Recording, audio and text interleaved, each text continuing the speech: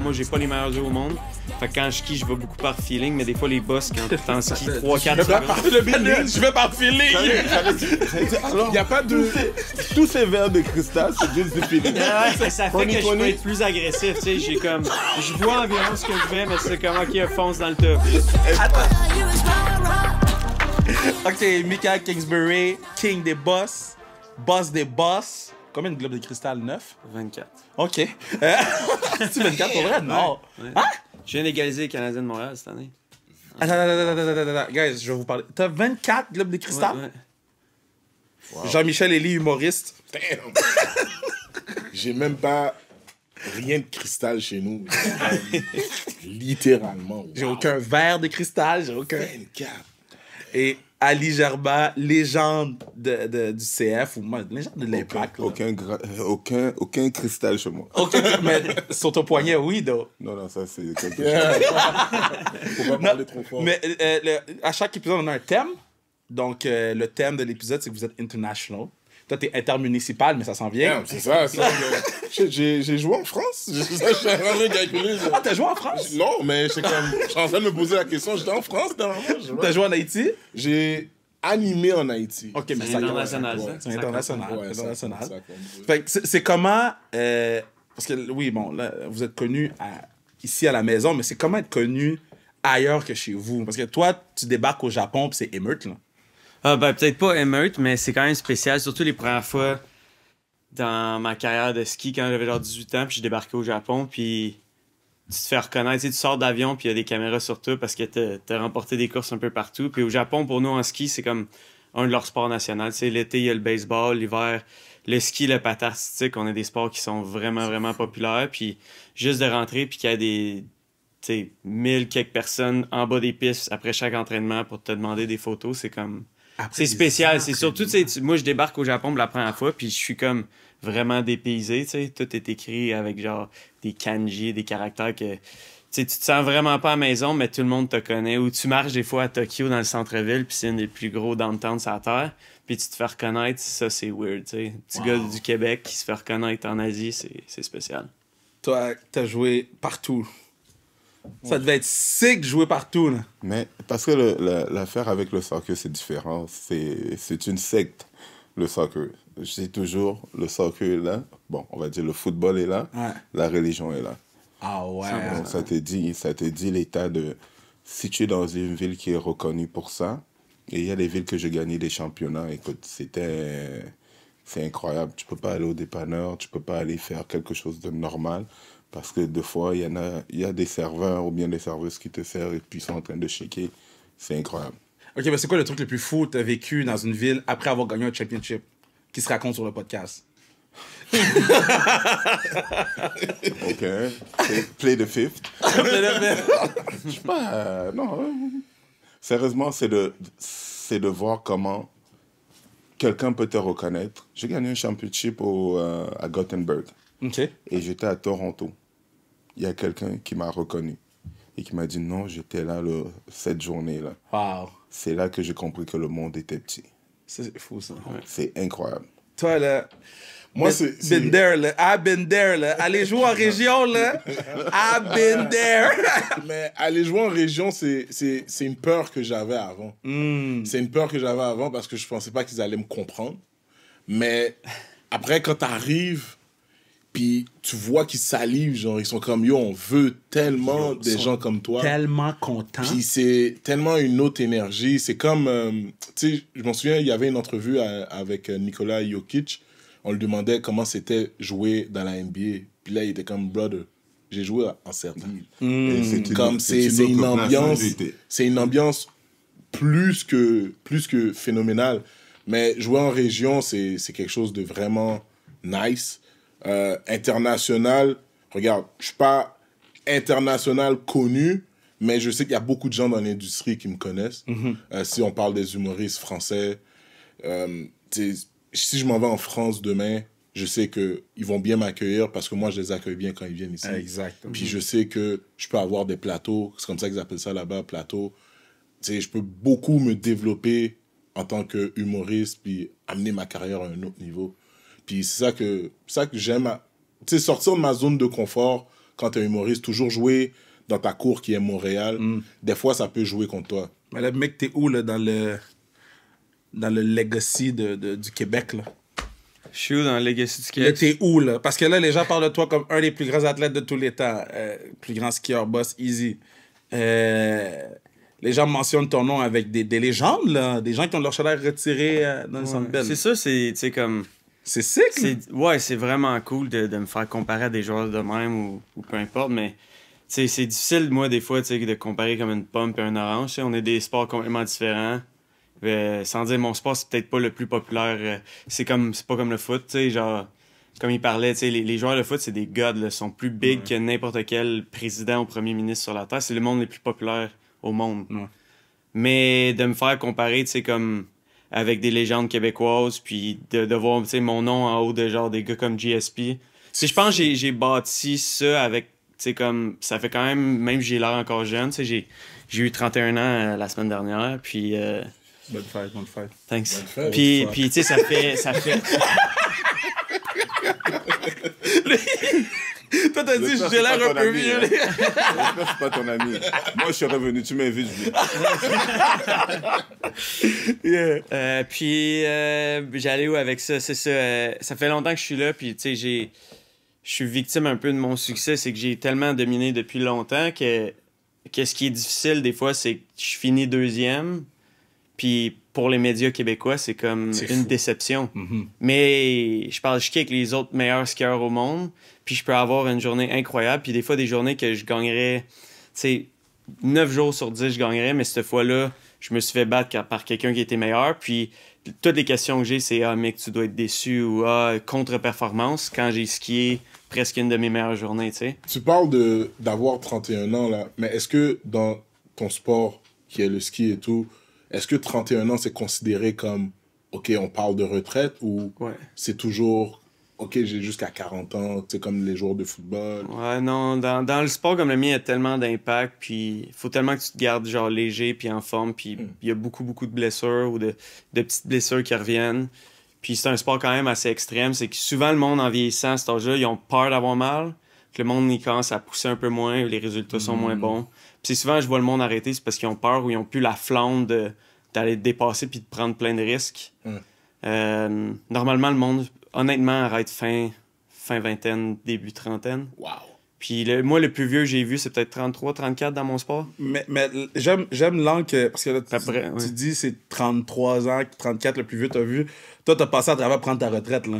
C'est quoi le, le advice que tu lui donnes? C'est quand tu sais que for the time, c'est là, là. Non, non, ben, je ne crois pas que j'ai des, euh, des conseils à lui donner. Je vois que c'est quelqu'un qui il sait exactement où il va. Dans la plupart des d'autres athlètes, c'est la préparation. Parce que je crois qu'il sait à quel âge, il sait où ça va commencer à ralentir. Et la plupart, même quand je, je manage les, les joueurs aujourd'hui, c'est de leur laisser savoir, prépare-toi. Parce que moi, je n'ai pas peur de le dire, ça m'a pris deux ans de dépression parce que je ne savais pas quoi faire. À chaque jour, tu te lèves en train de faire ça du jour au lendemain. On te dit, ou bien on te dit tu es trop vieux, ou on te dit, ton corps te dit que je ne peux plus suivre. Ouais. Qu'est-ce que tu fais? Alors, tu veux pas te retrouver à la... Donc, je crois que lui, je crois qu'il a, il a eu le temps de planifier ses choses. Il, il n'a rien envie. Moi, il m'a fait apprécier les sports d'hiver. Donc, il y en a plusieurs. Même quand j'étais à l'étranger, je suivais les Jeux Olympiques. Je suis quelqu'un qui, qui est toujours, et surtout des, des athlètes canadiens, donc c'est toujours le nom qui revenait, que j'ai, j'ai toujours eu euh, une grande fierté à savoir qu'il vient de chez nous. Donc, je crois qu'il est, il, il sait ce qu'il fait. Donc, je n'ai pas vraiment grand-chose à lui dire. Les pratiques.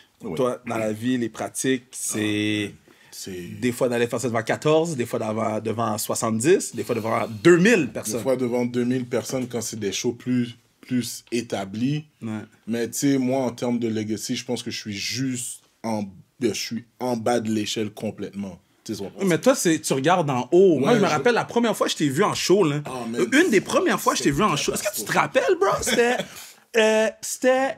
Je faisais les shows dans une église, là. Ouais, les Kevin faisais- Raphaël Show, là. Tu faisais des shows dans une église, mais je pense que la première fois qu'on s'est vu en show, euh, je faisais ton audition pour, euh, Oui! pour euh, collège, soit collège Le Temps, ou soit c'était pour le cabaret. Ouais, ouais, ouais, ouais, ouais, ouais, J'avais ouais, fait ouais, le show finalement. Puis je pense que c'était dans mes débuts de C'était comme euh, jour 1, là. Ouais, Puis je me rappelle, je t'avais vu, puis j'étais comme, OK, il y a plein de, de nice shit, sauf que je sais pas à quel point les gens vont comprendre qu'est-ce qu'il dit. Ouais, ouais. C'était mon, mon. Je te dis, quand, quand je- les premières fois que je t'ai vu, j'ai fait tout est nice, mais il va falloir qu'il vulgarise pour que. Puis c'est la même chose que moi quand je suis arrivé à TVA Sport. Ça m'a pris, ça m'a pris trois ans. Ça m'a pris trois ans de découvrir genre mon identité sur scène Hmm. puis la personne que je veux être. Ça m'a pris trois ans de parler de mes problèmes Hmm. au lieu de essayer de faire rire les gens. Tu sais, je pense que T'avais beaucoup de problèmes. hein. Oh. Puis en, en est- en essayant de. En essayant d'être trop drôle, en essayant d'être trop drôle, des fois c'est ça qui, qui jouait contre moi. Alors que quand j'expliquais mes, mes, mes péripéties, mes anecdotes, les gens étaient comme Oh yo, ça c'est drôle. Ouais. Parce qu'on tombe dans les shit que. Du- de faire du black comedy, là. Mm-hmm. Puis. C'est nice quand c'est Chris Rock, Ouais, mais quand c'est Kevin Raphaël ou Jean-Michel Elie, tu fais comme. c'est pas leur Ben, il, réalité. il habite à Laval. Mais non, il ça- mais c'est vrai. Quand il, fait- quand il faisait ces blagues-là, on est allé. euh, c'est quoi là, le dernier événement qu'on a fait ensemble? Euh, C'était le match de célébrité pour euh, Voilà. Montmorency. C'était bien dans le vestiaire. Ouais. Dit, Mais il faut pas que ça sorte d'ici. Euh, toi, les pratiques, man, comme je, je voyais tes vidéos euh, back in the days où tu tombais dans des shit de mousse, euh, je t'ai vu t'entraîner. Bro, à quel point, à un moment donné, t'es comme, yo, il me semble que je serais down de prendre un- une bière classique CAR. Ah ouais, non, ben, l'important, c'est de garder un bel équilibre dans la vie. Tu sais, il y a un moment pour euh, prendre une bonne bière KR ou il y a un moment pour. Tu sais, mais moi, j'aime ce que je fais. J'apprécie pas nécessairement toutes les choses, Ouais. mais j'aime ça m'entraîner, puis j'aime ça. Tu sais, c'est comme. euh, si je compare, exemple, à un artiste, à un athlète comme dans notre sport, où il y a plein de trucs à apprendre, où tu peux innover. Fait quand tu vas, exemple, faire de la trampoline ou de la rampe d'eau ou juste n'importe quel entraînement, c'est comme être dans un studio comme ici, puis tu essaies des trucs, puis tu crées un beat, puis, puis après ça, ben, tu pratiques pour la, le perfectionner, pour arriver en compétition, qu'il y a une crowd, puis c'est comme faire un show. Puis notre sport, je trouve, c'est un peu comme un show, tu sais. Je, tu- je sais pas si t'es déjà venu me voir live, mais... Non, man, j'ai jamais vu. Je savais même pas que c'était ton anniversaire. non, j'ai dit pas j'ai dit pas j'ai dit pas j'ai dit pas Les billets pour aller au Japon sont chers. on course pas juste au Japon, Non, mais on course au Québec. En région, en plus. Tu pourrais faire un show à 25 hommes.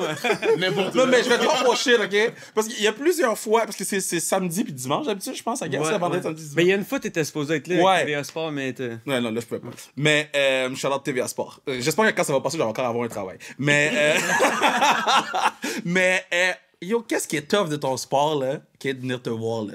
Ouais, c'est quoi? C'est qu'il fait fret en bas, ouais. Fait fret en tabarnak, man. Comment? Yo! Non, mais ça, c'est au Québec. Puis, tu sais, moi, je suis chanceux parce que ça fait genre 10 ans que, tu sais, au Québec, on a des hivers les plus froids au monde. Mais moi, je suis dans l'hiver, je suis là à Noël, puis je suis là pour la semaine quand je course au Québec. Ouais. Puis le reste, je le passe partout. Puis n'importe où ailleurs, fait pas tant froid que ça. Ouais. Il fait froid en Finlande, des fois en Suède, puis au Québec. oui? Mais le reste, euh, sais, quand je vais, exemple, on reprend le Japon ou je vais courser même au Kazakhstan, en France, euh, il, fait, il fait vraiment plus beau en Italie. Tout, Fait que- Kazakhstan. fait que t'as juste à traveler puis venir me voir ailleurs qu'au Québec. Hey, Quand tu vas en Suède, amène-moi, s'il te plaît. J'ai entendu là. Tu vois, tu m'as des- jamais demandé. J'ai joué là pendant des années, tu m'as Tu- jamais mais tu- demandé. Tu m'as jamais appelé. Ouais. Quand, quand tu vas en Suède, amène-moi, s'il te plaît. Oui, mais lui, c'est pas pour, pas pour te voir skier qu'il va aller en Moi, Suède. je Pour les filles! Moi, je peux te dire où il va aller. Il va aller à Stockholm. Je vais t'amener, je vais t'amener. Je. Ali connaît les Je spots. sais où tu vas aller, non, t'inquiète pas. Dans le fond, on va tous y aller, mais c'est juste moi qui vais te regarder skier. Mais nous, c'est 8 heures de route de Stockholm qu'on course, c'est moins nice. Oh, man. Mais c'est des beaux paysages qu'on voit, tu sais, genre, aller courser dans le genre, le nord de la Suède, le nord de la Finlande, en décembre, où il y a zéro daylight, c'est spécial pareil. Wow. c'est- le, le soleil il se lève à 10 h le matin, puis il se couche à 1h30. J'étais Ah, juste ouais. une Je me petite rappelle ces pocket là, de... Ah, c'est, c'est quelque chose pareil. Puis moi, j'adore courser sous les projecteurs, la lumière. En ski, ça- on voit beaucoup mieux quand le, le ciel est noir, puis la neige est blanche. T'as vraiment un beau contraste quand t'es dans les airs, puis Ok. tu flippes. Que le jour, souvent, dès qu'il y a des nuages, pour nous, c'est quand même assez difficile de se repérer ou même voir. Moi, j'ai pas les meilleurs yeux au monde. Fait que quand je skie, je vais beaucoup par feeling, mais des fois, les boss, quand t'en skis 3-4 secondes. Le panel, je vais par feeling. Il n'y a pas de. tous ces, ces verres de cristal, c'est juste du feeling. C'est pas de cristal, c'est de la mal vue. Imagine, knock les autres. Ça fait que je peux être plus agressif, tu sais. J'ai comme. Je vois environ ce que je fais, mais c'est comment qui fonce dans le top. Incroyable. Là, tu viens de magasiner une commandite d'optométriste. Là, New Look regarde, ils sont comme, ils voient mal. J'ai Mais pas tu vas par feeling. Ben non, mais je, je- mes yeux, je pense, sont assez bons pour voir, mais il y a bien des moments quand on course. Comme exemple, cette année en France, j'ai rien vu de ma descente. J'ai juste. pa, pa, pa. Je suis passé dans la piste, puis c'était vraiment par quand feeling, puis nager- parce que je connais ma piste par cœur, puis j'étudie bien mes parcours. Quand tu veux narguer tes compétiteurs, je ne vois même rien. Moi, je vois rien. Je vois rien. Mais est-ce qu'ils mettent de, de la force dans tes, dans Dans- tes dans. Non, non, mais j'ai des, super bonnes lenses euh, aux clés, toutes. Ok. Mais euh, non, j'ai pas de. Je suis pas capable de skier avec des contacts. J'ai des lunettes quand je conduis le soir, mais. Euh, non, Attends, time out, time out. Attends, non, non, non, non, non, non, non, je veux juste qu'on comprenne ce qui se passe là. Sur le patinet, il voit rien. Tu, tu mets des lunettes le soir? Ouais, quand je conduis. OK. Euh, tu mets pas tes verres de contact quand tu skis? Non, j'aime pas ça. How? Combien, combien de verres de cristal? 24! Ouais, je pourrais me faire des lunettes avec ça. J'écoutais John Wick, OK? Puis dans John Wick, je sais pas si vous avez écouté John Wick, moi je suis un gros fan de John Wick. Dans, dans le 4, il y a comme un, un, un Asiatique qui fait comme du kung fu, puis il est aveugle. Puis j'étais comme, damn man! Comment? Mais c'est toi? Non, mais je suis pas aveugle, aveugle, mais pour de vrai, j'ai pas les meilleurs yeux. Puis il y a- il y, a tellement de monde qui me le dit, genre, hey mec, peut-être pour passer comme à un autre level encore, on pourrait faire checker. Fait que je vais aller faire checker mes yeux encore. Il va continuer Mais- pour un autre 10 ans. mais je- Parce que là, il voit. 24 autres. de- Mais moi, je pense que mes yeux, c'est juste parfait. Tu sais, je vois bien le contraste. Ce que j'ai besoin de voir, je le vois. Puis tout blurry, on dirait autour, sauf ce que je dois skier. Fait que c'est peut-être bon. Puis toutes les fois que j'essaie des contacts, je trouve que c'est trop clair, c'est trop bright quand je skie. J'aime moins ça. Fou, ça. Wow. Fait que c'est peut-être un désavantage qui m'avantage au bout de la ligne. C'est juste quand c'est flat light, comme on dit en ski, quand c'est super nuageux, puis un peu sombre, c'est là que j'ai de la misère. C'est pour ça que je suis quelqu'un qui adore skier le soir, parce que je vois mieux. C'est sick. I got a past, now I ain't proud of it. Dr. Phil, nah, now I ain't talk about it. I got a past, said I ain't proud of it. Uncle Phil, yeah. Euh, Qu'est-ce qui est plus tough, pratiquer ou jouer les games? Moi, je trouvais que les games, c'était facile parce que l'entraînement, comme je dis, c'est là que tu... Moi, je, je me suis toujours poussé à l'entraînement. Ouais. Parce qu'on arrivait au game, je trouvais que c'est pas que c'est plus facile, mais j'avais plus une confiance de pouvoir livrer la marchandise. Parce que je sais que j'avais poussé mon corps à la, à la limite. Dans, à- dans quel pays ou quelle équipe que c'était. T'es t'es arrivé aux pratiques, t'es comme, quête, aujourd'hui, ça va être tough. Là. Moi, moi, ça a été quand les, les premières années quand je suis allé, euh, allé en Europe. Et même mes athlètes, je l'ai dit la même chose. J'ai découvert c'était quoi se pousser. Moi, je pensais que je, ah oui, je m'entraîne fort. Je suis allé en Suède la première fois après en Norvège. Déjà, la mise en forme était deux mois et demi. Wow. Tu sortais de là, c'est trois entraînements par jour. Donc, tu te levais, la première chose, tu vas, dès que tu te lèves, 6 heures le matin, 8 kilomètres. 8 km de quoi? Course. Pour. Et crois-moi, Pour faire quoi? Pour ton cardio? T'es-tu malade, toi? Co- co- Combien de kilomètres vous courez dans une game en, en average? honnêtement, average, tu vas avoir des gars qui sont capables de faire du 12, 13. Donc, ça dépend des positions. Donc, tu vas avoir des gens qui sont dans le 8, 8 km, 6 km. Donc, la moyenne, c'est à peu près 5 km, je dirais. Ah, tu dis ça, j'ai des crampes. Juste le fait que tu le dis, j'ai des crampes. Bro.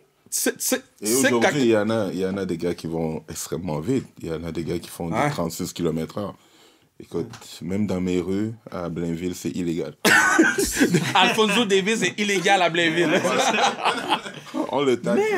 Ouais. Puis c'est c'est quoi qui est le plus tough? Quand tu pars d'ici, tu t'en vas jouer en Europe, Oui. après tu reviens? Mais déjà, c'est la façon de s'entraîner. Moi, ce que j'ai toujours aimé en Scandinavie, ils m'ont montré c'est quoi s'entraîner. Ouais. Parce que tu entres, les premières semaines que j'ai fait là, j'ai eu, on m'a, ils m'ont, ils m'ont acheté. Je suis entré là la première fois là, à l'entraînement. Écoute, j'avais l'impression que quelqu'un en voulait à ma vie. Ah ouais. Et c'est le même gars qui est, quand on a fini l'entraînement, il me dit, est-ce que tu vas aller prendre une petite bière? Ça va pas dans sa tête, lui. Tout l'entraînement, il a essayé de m'arracher la tête. Et c'est le même qui me demande si je veux pas aller prendre une bière. Donc, je comprenais pas. Donc, c'est là, après des années, que j'ai compris que, tu sais quoi, à l'entraînement ici, eux, ils ne viennent pas pour venir faire des blagues. Ils viennent pour se pousser parce que toute la semaine était focusée sur la fin de semaine. Ils, ils t'ont acheté, ok? Moi, je comprends pas l'affaire de soccer, ok? C'est c'est quelque chose que je- tu, tu dois m'éclairer. Faut que tu m'éclaires là-dessus, ok? Parce que comment ils achètent les joueurs, là? On n'est pas 400 ans back in the days, là. On pourrait le mettre comme ça, mais au moins, tu bénéficies. Ils te donnent l'argent sur l'achat qu'ils ont fait sur toi. La plupart des gens, ça, je vous donne des insights de management. Tu as 10%, non, tu as 5% du transfert du joueur en Ok. tant qu'agent. Et le club aussi, le club en bénéficie. Ouais. Donc, la plupart, c'est gagnant-gagnant. Mais est-ce que tu es dans le locker room pis t'es comme.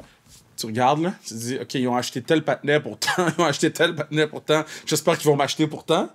Non, la plupart, c'est question de performance. Moi, je dis toujours aux joueurs, tu es le, euh, le fruit de ton effort. Si tu veux avoir un bon prix, tu dois te donner. Tu dois travailler fort, tu dois arriver à un certain... Parce que les gens, aujourd'hui, quand ils voient ce que Mbappé a, regarde la biographie de Mbappé, tu vas voir qu'il a travaillé fort, il s'est sacrifié. Aujourd'hui, ce n'est pas un accident qu'il est le meilleur au monde. Donc, c'est la même chose avec lui. Je ne crois pas qu'il s'est levé aujourd'hui. Bon, je vais, faire, je vais descendre une, une piste à l'aveugle. Il est, mais bon. À l'aveugle. Ça, Pour vrai, je, tu m'en avais jamais parlé, je suis saisi.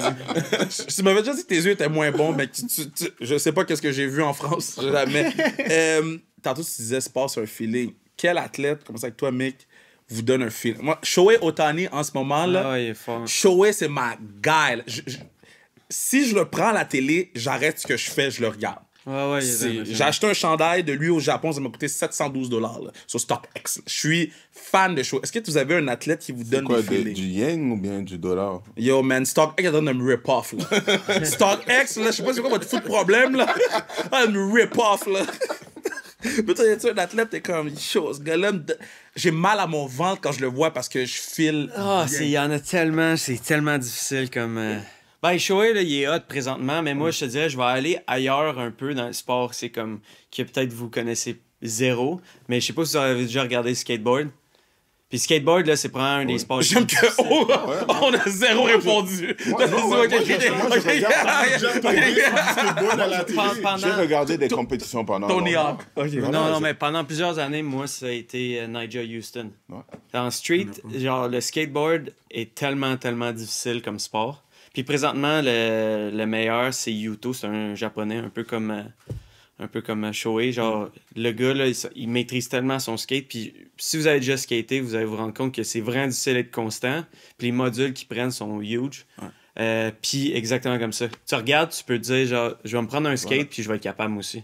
Voilà. Mais, mais là, tu t'en rends compte que, OK, le gars, il est fort pour mettre ça autant flawless. Présentement, moi, je dirais, euh, le plus hot, présentement, c'est Shoei, si t'aimes le baseball. Moi, j'ai grandi avec- en jouant au baseball, fait que je suis très bien raide, mais euh, pendant plusieurs années, moi, ça a été Nigel Houston. Parce que, en même temps que je dominais mon sport, lui, il dominait autant. Ouais. Puis, dans des sports comme le mien, puis le sien, que c'est vraiment difficile d'être constant, c'est comme cool de voir quelqu'un qui est capable de, de- de performer, puis que tu- quand tu le regardes performer, tu comprends un peu ce qu'il vit Ouais. en étant le favori, puis en rendant tout ce qui a l'air difficile, facile comparé aux autres. Toi, c'est qui? Man, moi, il y en a tellement. Il y en a tellement, mais moi, je vais plus aller dans. dans tu sais, j'ai fait du, du football américain, mais j'adore aussi la boxe. Hmm. Ah. Dernièrement, un gars qui m'impressionne beaucoup, c'est Terence Crawford. Hmm. Puis, Terence Crawford, c'est c'est quelqu'un de tellement IQ clinique. Ouais. Il va te décortiquer euh, le, le- le sport et tout, puis sa manière d'étudier le sport, sa manière de, de performer aussi.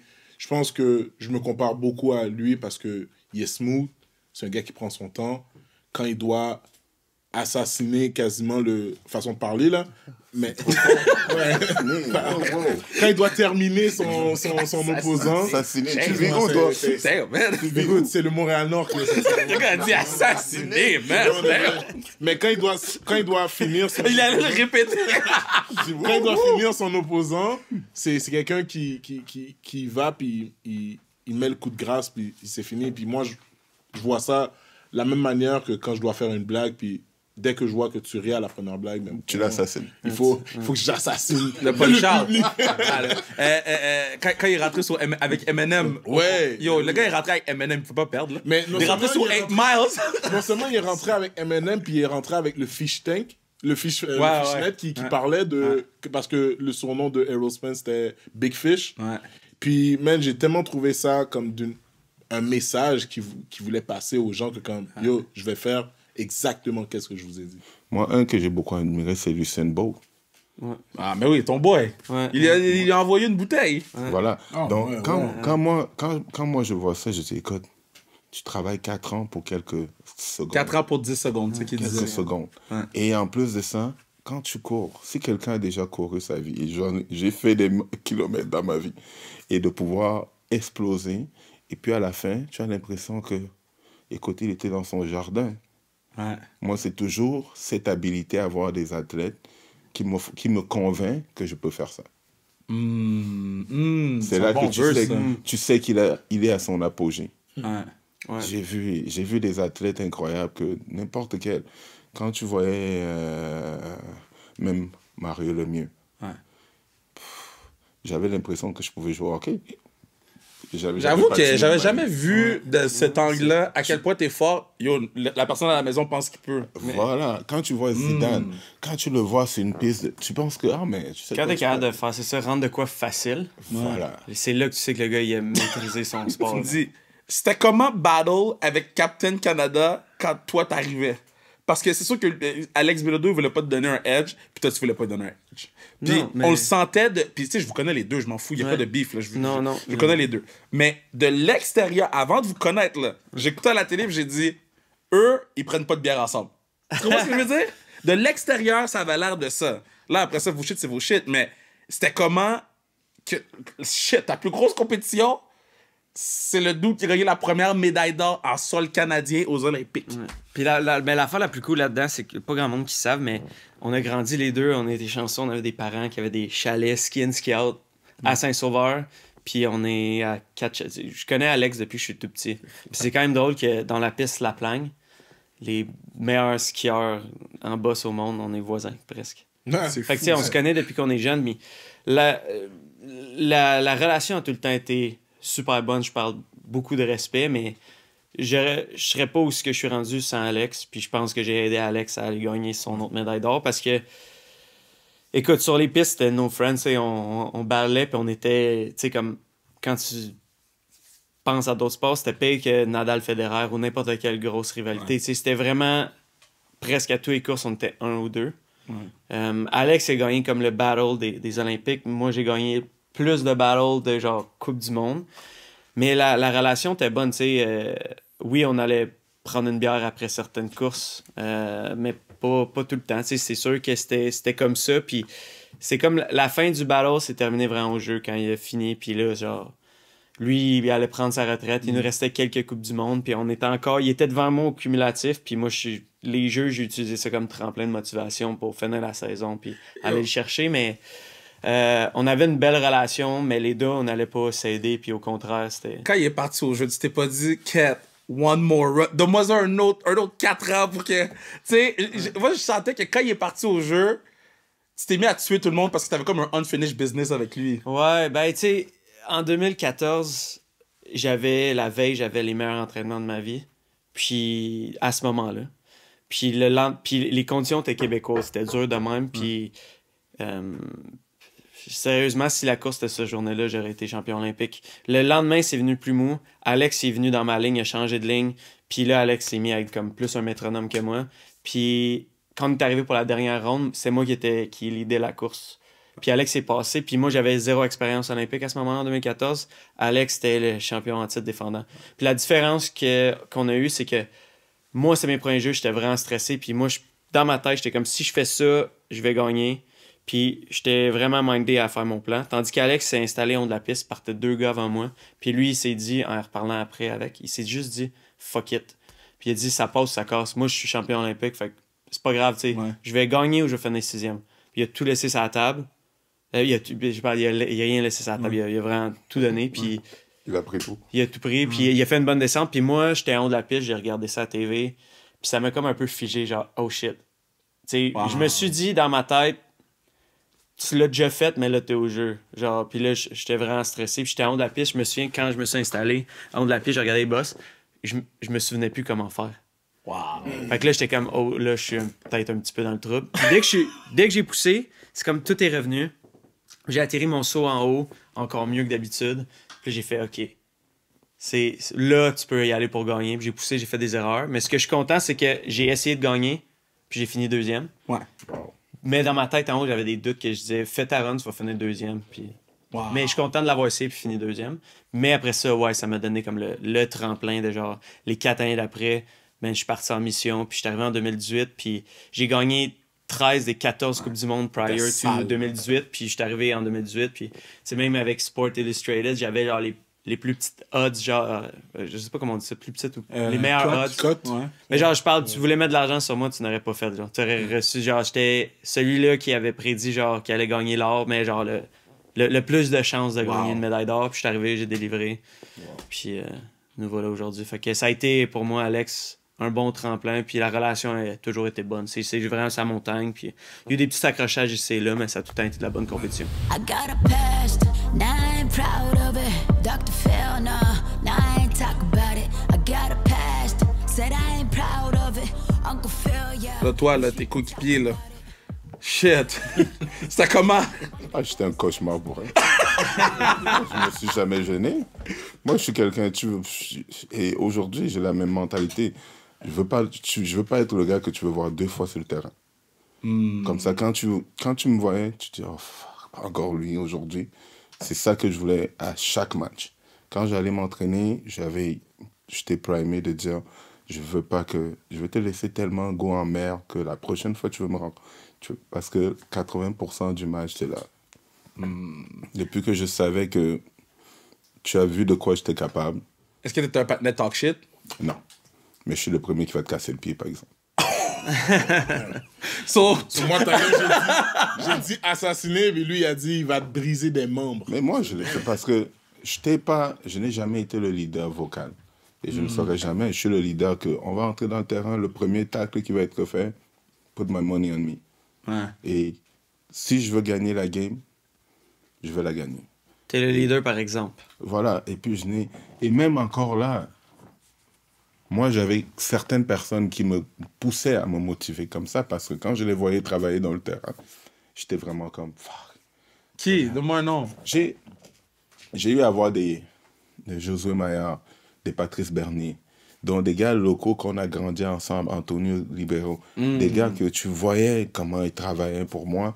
Quand je regardais ça en arrêt, j'étais comme, Yo, Ali, qu'est-ce que tu fais dans le terrain, bro? Comme, T'avais-tu joué avec Drogba ou non? non. Moi, j'ai connu euh, Drogba. Euh, j'ai été en Angleterre, dont euh, je l'ai rencontré à différents, différents euh, endroits, mais je n'ai pas eu l'opportunité de, de jouer avec. C'est la même chose que Thierry Henry. Donc, c'est des joueurs que j'ai côtoyés, mais quand on est venu ici, quand ils sont venus en, je n'avais pas, j'ai pas eu l'opportunité. Mais j'avais déjà joué contre Thierry Henry, même à, l'Impact, euh, quand on avait fait un match amical Ouais. contre Red Bull. Ouais. Et j'avais marqué aussi. Nice. Premier à faire autour du chapeau avec le, le CF, on va le rementionner. Un memorabilia sportif, là, que vous êtes comme, yo, ça c'est mon shit. J'ai, j'ai plusieurs jerseys signés. Ah, voilà, j'ai, j'ai besoin d'un jersey de toi, puis j'ai besoin d'une affaire de toi. Là. Je, je veux un, un maillot. Donne-lui juste un globe. c'est- Non, non, non, tu peux ton club. J'ai besoin d'un maillot, un maillot. Mais, mais euh, j'ai- toutes mes boys qui sont dans la NHL, j'ai réussi à, à presque tout ramasser leur chandail signé. So, c'est que, Moi, que tu c'est mes jamais- amis proches. Tu jamais calculé. Mais, non, mais non, que mais j'ai dit. NHL, j'ai dit NHL. J'ai dit, j'ai dit, moi, c'est- soccer, j'ai aucun chandail signé. Ah, ok. C'est vrai. Ah ouais. C'est vrai. Je, je, je, c'est ça. Donc, euh, est-ce que, est-ce que vous avez un, un truc sportif chez vous? Vous êtes comme, yo, si la maison part en feu, c'est ça que ce soit tes globes, tes cristal, mais quelque chose de quelqu'un d'autre qui t'a donné, ouais, ouais. je pars avec. Euh, moi aussi, j'ai une collection de chandails d'hockey. Pour elle, c'est Euh, quel ton. Ah, moi, c'est Crosby.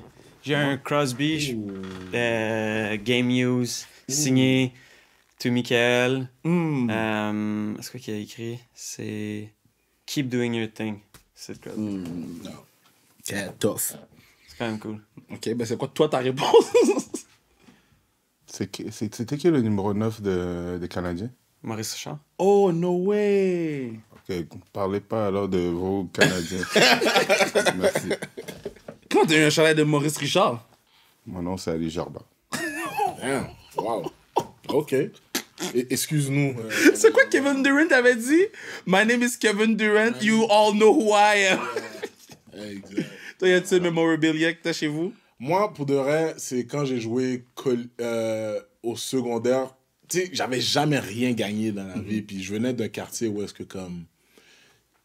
C'était pas important. La rue, c'était plus important que les études et tout. Fait quand j'ai gagné ma première plaque de MVP, joueur défensif, pour moi, c'était vraiment quelque chose de. de c'était un trophée, puis c'était quelque chose que je voulais vraiment montrer à mes parents, puis à ma mère et tout. Puis je me souviens, la première fois, j'ai amené la plaque à ma mère, j'ai comme, regarde, joueur, joueur. Là, elle était comme, OK, est-ce que tu vas être accepté au cégep? Tu sais, c'est- comme. C'était une pas une mère africaine. Elle C'est une t'aurait mère- Elle t'aurait demandé est-ce qu'on va cuire avec ça? Tu sais, puis elle regardait la plaque, puis elle était comme, est-ce que c'est de l'or, tu sais, parce qu'on peut le vendre. Wow, that's crazy. Mais, tu sais, ouais, je pense que c'est c'est ma plaque euh, que j'ai eue à, à l'école secondaire Jean Gros, comme joueur euh, défensif de l'année. Puis c'est quelque chose que, que j'aime, c'est quelque chose que je vais toujours trimballer avec moi, puis je vais le montrer à mes enfants. Puis pour moi, tu sais, je vais- c'est sûr que je vais, lui expli- je vais les expliquer une histoire derrière. Et tout, je vais pas juste leur dire, yo, regarde la plaque. Ouais. c'est- C'est même pas du vrai bois, tu sais, tu comprends? Mais Toi, toi c'est quoi? Oh, wow. Euh, je pense le ballon du Super Bowl de Laurent. Ah ouais, ouais. Euh, c'est c'est c'est tout le, le, le- pour se rendre au Super Bowl pour moi me rendre au Super Bowl le, le fait que j'ai eu t'es allé au Super Bowl? J'ai- j'étais là quand il a gagné Wow. Euh, le fait de pouvoir me payer un billet pour aller au Super Bowl, c'était à Miami, donc les installations, pour moi, c'était comme une grosse victoire. J'étais comme, j'ai pas à m'inquiéter de si je vais manger demain, je m'en vais au Super Bowl. Euh, Puis de, de, de, de voir la réaction d'être au party quand il gagne après, où il n'y avait aucune caméra. RDS n'était pas au party, c'était juste la famille, c'est juste nous, tu sais. Ça, c'était vraiment un, un moment euh, spécial. Puis le, le- ce trophée-là, je l'ai gardé. Puis je te dirais peut-être la ronde. Hein? Trophée. Trophée ballon. Euh, peut-être la rondelle du premier match, la force à domicile, où on avait fait le record euh, attendance, 3500 personnes, euh, pour un projet monté en deux mois. Ça, j'ai- j'ai- ben, en fait, c'est une place très spéciale dans mon bureau. Euh, parce que c'est comme un reminder de yo, ils peuvent dire qu'est-ce qu'ils veulent. Yo, on peut faire qu'est-ce qu'on veut. C'est, c'est, à chaque fois que je vois la rondelle, je suis comme, C'est un bon mais reminder. personne pensait. Mais avant qu'on parte, je vais instaurer un segment. Je l'ai pas dit à Bruno, mais je, je décide de l'instaurer. Ça va être le, seg- le segment recommandation. Parce que je trouve que le podcast, on est. euh, on a construit quelque chose au courant des dernières années où c'est sans prétention, c'est plus on fait nos shit puis that's it. J'aime l'idée de pouvoir recommander une personne à aller que, que, nos, que nos téléspectateurs ou que nos euh, gens qui nous écoutent fassent comme Ah, Ali Jabba m'a dit que lui est nice, je vais aller peut-être le suivre sur Instagram, je vais peut-être aller voir qu'est-ce qu'il fait. Est-ce que vous avez une personne dans votre tête, vous êtes comme Je voudrais vous recommander cet être humain-là à aller euh, soit surveiller ou bien suivre ou quoi que ce soit. Parce qu'ils vous ont écouté pendant 70 minutes, ils vont pas s'en foutent de vos Instagram. Recommandez une autre personne. On recommande quelqu'un d'autre.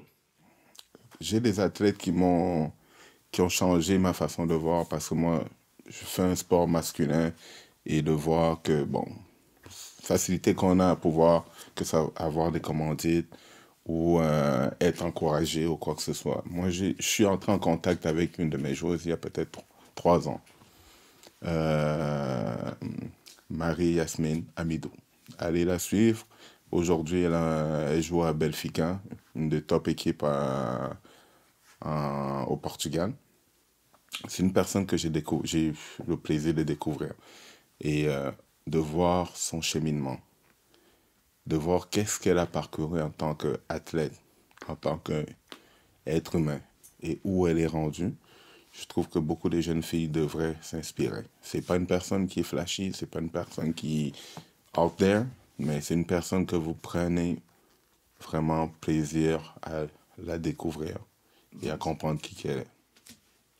Moi, je, il y en a tellement dans. Toi-même, tu sais, là, dans l'industrie, il y en a tellement qui sont en voie de. Une recommandation, une. Waouh! Moi, je vous dirais d'aller vraiment voir euh, une humoriste exceptionnelle qui s'appelle Doua Kachash. Elle est vraiment bonne.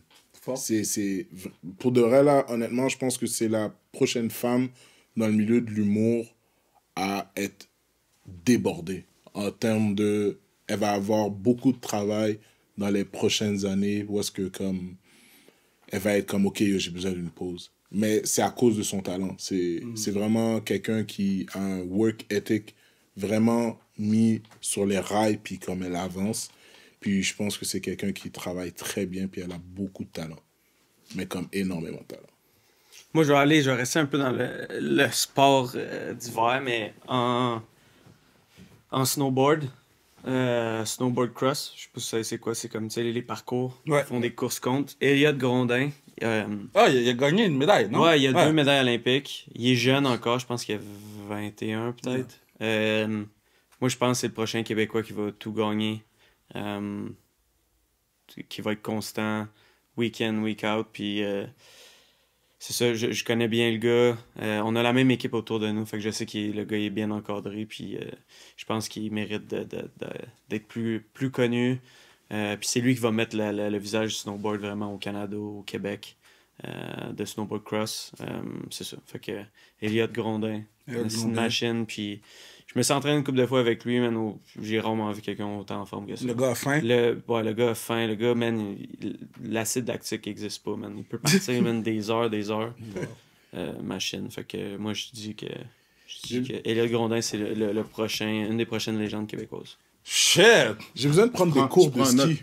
Ouais, n'importe pas si quand, tu peux man. m'arranger Ça ça. va jamais, ça va jamais arriver. Ça, ça, ça va arriver. Ils viennent me dire n'importe quand. Donc, j'ai besoin de prendre des cours de ski parce que je vois beaucoup de mes amis qui vont faire du ski, genre comme. euh, Tes amis de vois, Rive-Nord, tu vois, tu Non, vois d'abord. parce qu'il y a vois, pas les- la mauvaise intention. J'en j'en vois, après mais tout. c'est juste Si qu'ils tu m'aurais dit tu apprécies, quoi, parce que tu as vu ton ami faire, ça veut pas dire que tu Non, mais c'est Il veut des likes sur Instagram. Voilà. Je me dis. Je me dis Tu parles à un athlète, prends-le Mais par les c'est sentiments. ça, justement. Moi- Mais je- tu sais, tu sais patiner. E-boy! E-boy! Wow! Non? Patiner! Je marcher Kev- sur de la glace. Moi, je patine, bro! Mais t'es- t'étais là en ski à Tremblant, puis c'était comment? Skate tough. Moi, tu vois, quand j'ai pris ma retraite, la première chose que j'ai fait, snowboard. tu fais du snowboard? Ouais. Non, mais attends, est-ce que tu fais du snowboard ou tu regardes les gens faire du snowboard? Ali a l'air d'un gars qui va faire du snowboard en jeans. Le pire, le pire, parce qu'il y avait, il y avait des pantalons comme ça de snowboard, mais en jeans. Je, les ai, je les ai achetés. Ah là là. Non, non, je fais mon snowboard normal. C'est la première chose que j'ai fait. Il y a deux choses que j'ai fait. Snowboard et j'ai fait de la moto. Parce que t'avais pas le droit dans tes contrats. Ouais. Voilà. Ah! Et tu sais comment j'ai appris? Première descente, j'étais sur le cul tout le long. Deuxième, c'est question de balance. Je l'ai appris très vite. Ali fait du Mais je suis saisi. Moi, moi c'est, je, veux, je veux juste apprendre à faire autre sport, autre, autre truc que ce qui est de base, genre jouer au football, jouer au Comment ça courait? et tout. Je cours, je cours des fois. Le ski, ça s'apprend vraiment vite. Puis c'est vraiment cool parce que moi, j'adore apprendre un nouveau sport parce que t'apprends à chaque fois que tu fais de quoi de nouveau puis tu deviens de meilleur en meilleur. Tu sais, comme moi, dans mon sport, là, m'améliorer, là. Il y a c'est- plus de. c'est- c'est juste ici, c'est juste ici. C'est une opération. Mais je t'ai dit, tu vas pick up le ski, ça, c'est, c'est vraiment. euh, Non, mais ça, ça se pick up vraiment rapidement. là. Une fois que tu te fais confiance, c'est. c'est. Moi, il y a, il y, a, il y a des choses là que je dois apprendre avant que je Se décède. faire confiance. non, même pas. C'est de skier, euh, patiner. Si tu dis nager, là. Regarde, nager, je sais, je sais nager, je sais nager. Non, tu sais survivre! mais exactement. Il sait survivre! Si, yes, tu mets, yes. si tu mets dans l'eau, écoute, je vais, juste, avec toi. je vais juste nager pour toucher un rebord. Mais non, tu veux juste trouver quelqu'un. Demande-moi de jamais de, rebond. rester sur Non, place. ils vont- ils- quand j'étais plus jeune, je- yo, on, on va finir le podcast, shit. Quand j'étais plus jeune, man, j'étais en sixième année, dernière sortie d'école. Dernière, on se met à la glissade d'eau, là, comme Yeah. dans, dans la montagne, je sais pas c'est quoi, là. Euh, et il y a comme un, un- une grosse piscine, puis il y a des remous. Puis c'est la vague. Une piscine à vagues. So, t'as comme le, le, le zéro creux, puis t'as comme le gros creux, où il y a les vagues? So là, moi, je suis comme, shit, fuck that. Moi, mes amis sont où il y a les vagues. Moi, j'y vais. Fait que là, je commence à marcher, je commence à marcher, puis là, l'eau commence à monter, puis je suis comme, man, un grown man. J'ai pas de marcher, je de marcher. Et là, à un moment donné, j'entends! Là, je suis comme, quête, faut aller chercher le bar. Là, je, commence à- Là, je comprends que c'est moi qui venais chercher. Ils sont venus me chercher. Il y était deux, ils m'ont tiré. Ils ont dit, toi, tu ne vas plus dans l'eau. Depuis ce jour, j'étais en sixième année. Je suis jamais retourné à une glissade d'eau de ma vie. Pour le reste, c'est vraiment nice, guys. Merci, beaucoup d'avoir merci pris le temps de venir en studio. Euh, J'apprécie énormément. Puis, euh, keep doing your thing, tout le monde. là. Comme, j'ai découvert ton agence aujourd'hui. Comme, il y a plein de choses qu'on on, on- on a à découvrir de toi, Ali. Jean-Michel, bro, comme j'ai dit, look up, là, t'es dans le building. Ouais, le, le best est à venir. Puis toi, ben yo, je sais pas si tu fais les prochains. Si tu fais les prochains. Ouais. Tu fais les prochains? Ouais, 2026. OK. Wow. On sera en 2026, En Italie. en Italie. Là, tu viens me voir. mais Si, seulement moi, si c'était dernier. Parce que moi, j'ai un règlement. C'est mes derniers. Est-ce que tu es sûr à 100%? Pas mal. Pas mal. Je veux pas euh, le dire ici, parce qu'on sait jamais, Ouais. mais ouais. Des bonnes chances. Je vais avoir 33 ans, en termes de skieur. C'est où à, à Turin? Ah, euh, non, c'est à Milan. Milan Cortina. Belle, belle, Ok. belle ville. OK. So, vu que c'était dernier, je vais y aller. Parce que Laurent, je pensais que c'était sa dernière game, le Super Bowl. Pour ça, j'ai été. Finalement, je suis retourné le voir à New York pour sa, sa fausse dernière game. Euh, c'était dernier, je vais y aller à Milan. Yes. Maman, maman, maman, maman, maman. Yeah, I got a past, now I ain't proud of it. Dr. Phil, nah, now I ain't talk about it. I got a past, said I ain't proud of it. Uncle Phil, yeah, wish we could talk about it.